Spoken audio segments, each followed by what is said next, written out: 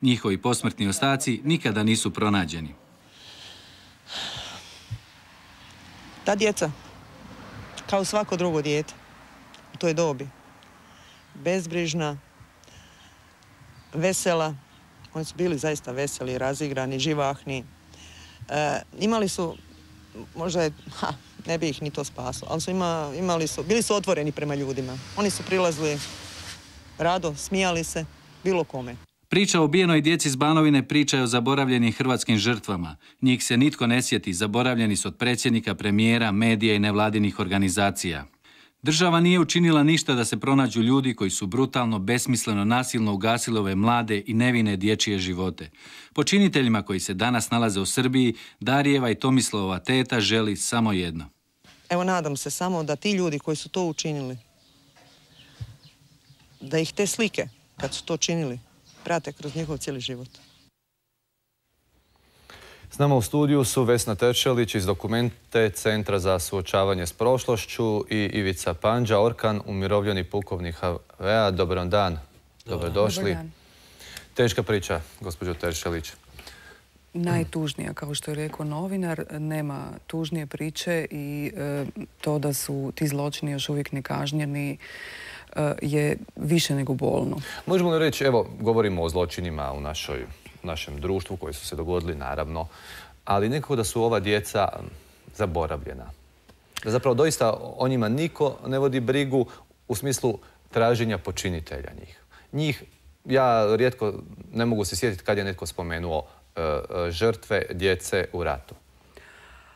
Ne govori se dovoljno, a istražni postupci e, čekaju, trče u mjestu. E, za ovaj bi postupak u vezi Kostrića stvarno bila važna i regionalna suradnja. Jer ako su e, mogući počinitelji u Srbiji, onda je to nešto što bi se trebalo procesuirati tamo pred sudovima, s time da bi svu dokumentaciju i sva potrebna saslušanja trebao napraviti DORH e, i e, to naprosto poslat u Srbiju.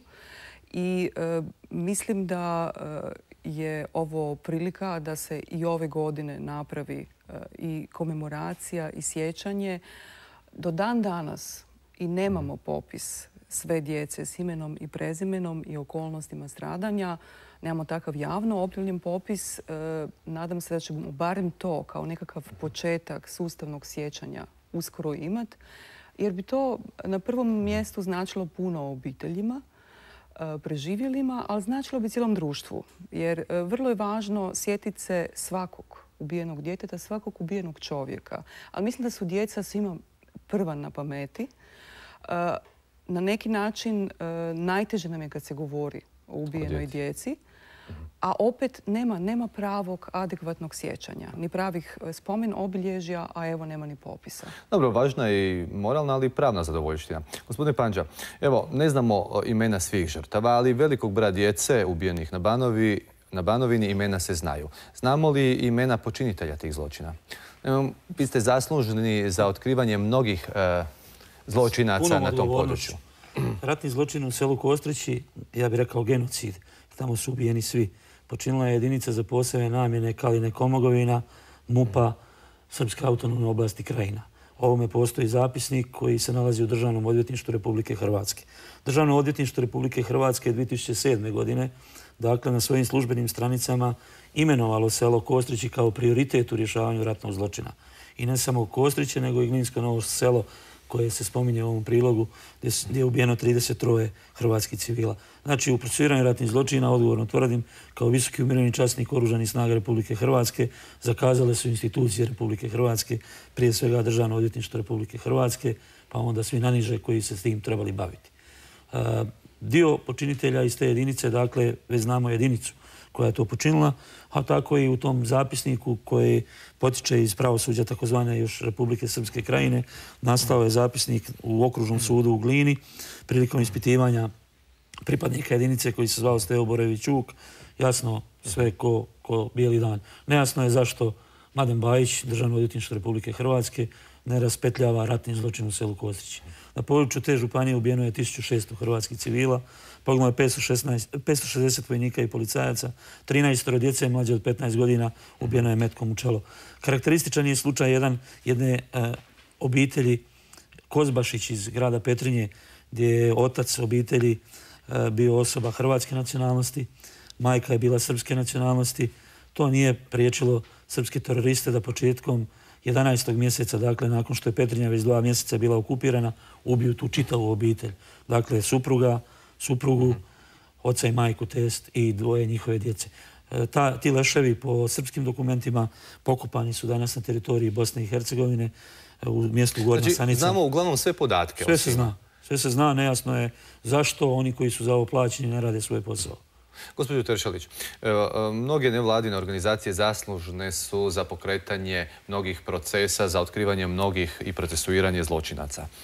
Mogu li u ovom slučaju pomoći? Ono što možemo je e, vikati, tražiti, inzistirati i istražni zahtjev za zločin u Petrinji koji je e, krenuo e, u rujnu. Za velik broj ubijenih civila u Petrinji ubijeno više od 120 civila. Taj istražni zahtjev koji je otvorio DORH vodi se za 80 ubijenih. Bi sad trebali stvarno mislim u najskorije vrijeme E, pratiti i zahtjevi i za Kostriće, i za Jame, e, za Glinsko Novo selo. Dakle, to e, su vrlo bolna pitanja. Mislim da treba pojačati rad. Istrage nisu dovoljno učinkovite, ali je sad veliko otvoreno pitanje Je li se namjerno zabušava? Evo, ako znamo za ovaj konkretan zločin u ovom selu, ako znamo jedinicu počinitelje, zašto se ništa ne krene? Stvar je u tome da ima toliko zločina koji čekaju. Mislim da se daleko više moralo napraviti e, u 20 e, godina iza nas, da je to iziskivalo više ljudi, veće kapacitete i da se nije na vrijeme počelo raditi. Prvo, e, u 90-ima imate malo postupaka za ratne zločine. Pravo šire procesuiranje je počelo poslije 2000. 2001 i e, svakako ne ide dovoljno brzo. I e, posve su razumljive ljutnje i frustracije, a što mogu organizacije za ljudska prava je tražiti procesuiranje. Mi to i radimo, ali je teret procesuiranja na državnom odvjetništvu, na policiji i na sudovima. Samo oni mogu napraviti Evo, kažu obično da je naše pravosuđe preopterećeno. Evo, nedavno je iz Srbije stiglo 40 optužnica Možemo li mi, neki od ljudi koji su počinili zločine na Banovini, uh, otišli su u Srbiji. Možemo li mi te optužnice s ove strane proslijediti njima za ove zločine? Možemo. Stipe Vrdoljak, županijski državni odvjetnik, čiji zamjenik na suđenju u jednom ratnom zločincu hrče doslovno u sudnici, pa ga uh, odvjetnici moraju buditi i upozoriti da se bolje trebao pripremiti i naspavati. Imali smo slučaj izručenja iz Grčke, imamo slučaj Siniše Martića Šilta koji danas živi u Novom Sadu, koje mi je državno odvjetništvo oprostilo. Dakle, kada treba procesirati ratne zločine koje su eventualno počinili Hrvati nad Srbima, onda Mladen Bajić prekvalificira kaznena dijela iz ubojstva u ratni zločin. Kada treba e, ubojstvo vašeg kolege novinara Gordana Lederera otići u zastaru, ja još uvijek ne znam šta je Mladen Bajić napravio. Zašto to nije kvalificirao ratnim zločinom? E, pa još gori slučaj ubojstva vaše dvojice kolega koji su bili ruski novinari. Evo, 20 godina je prošlo od njihove smrti jednostavno država ne čini dovoljno da se to riješi, raspetlja, račisti i da se konačno može krenuti u normalan život. Jer svaki nepravedni mir e, izaziva novi nemir. Kako je malom Šimanoviću, kojeme su ubili i oca, majku i e, djeda i sestru, danas živi sam u Glinskom novom selu. U Kostrićima danas živi samo jedan stanovnik. Država Hrvatska je napravila tri spomenika umjesto da u to selo vrati život. Jednostavno, E, mnoge stvari su ispremiješane i na tom području e, nije nije lako živjeti. Evo, samo kratko jer ćemo se uključiti u vijesti. Samo e, da, da kažem da za sve koji žive danas u Srbiji moguće je uputiti sve potrebno iz Dorha u Srbiju. Oko 20 predmeta se na taj način procesuiralo. Neki su okončani pravomoćnim presudama. Među njima je recimo zločin na Ovčari u Vukovaru i to bi bilo silno važno i nadam se da će neki od tih postupaka uskoro osvanut e, u Srbiji kako bi došlo do pravomoćne presude. Naravno, kako bi se, ajmo reći, normalizacija odnosa i pomirenje e, na kraju doista zaživjeli u pravom svjetlu. Hvala vam lijepa. Mi smo ovime došli do e, kraja prvog dijela Hrvatske uživo.